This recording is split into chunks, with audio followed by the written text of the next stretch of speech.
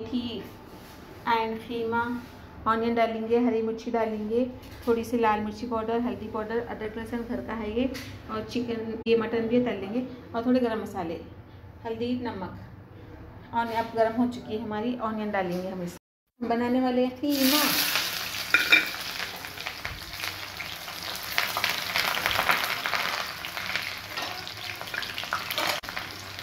कीमे के अंदर हरी मिर्ची और सी ठंडी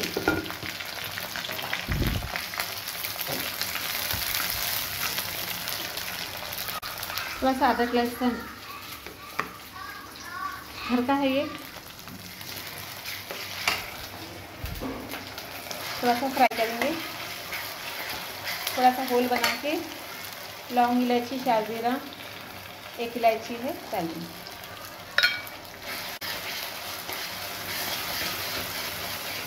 कीमा है मेथी।